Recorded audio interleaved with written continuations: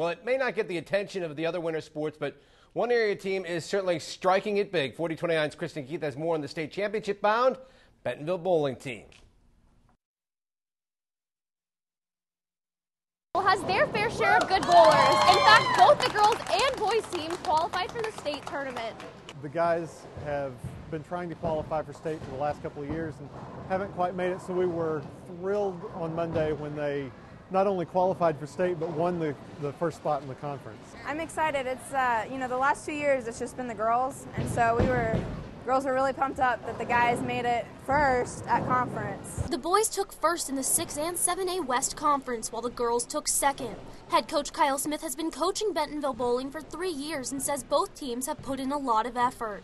Uh, they've shown some major improvement and, and been working hard to get there. Well, this year I know we've worked really hard, put in a lot of practice, lots more than we normally do. Coach Smith says the goal all year has been improvement, and the girls team is working their way up the ranks. We went from 10th in state to 6th, and this year we're hoping for a top three finish. We have been bringing it up each year. We have improved our scores tremendously. We'd like to get first, but at least if we're at least in the top three, that's all that really matters. Sophomore bowler Dylan Eichler took sixth in conference and says the Tigers have been focusing on the key to the game. We spend time shooting spares, which is very important in the key the game of bowling. You need spare shooting, or your game's almost pointless. If you can strike a lot, that's great. Spares game, spares make the game. Bentonville has several top individual bowlers, like Josh Federchek, who won the individual state championship last year, and Rashawn Casey, who won the individual girls conference title just this week.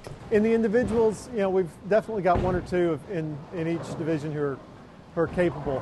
But I think that the, the team competition is really where our, where our strength lies. It's a team sport.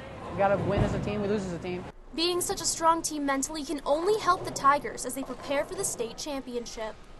At Fast Lanes in Lowell, Kristen Keith, 4029 Sports. Did it go down?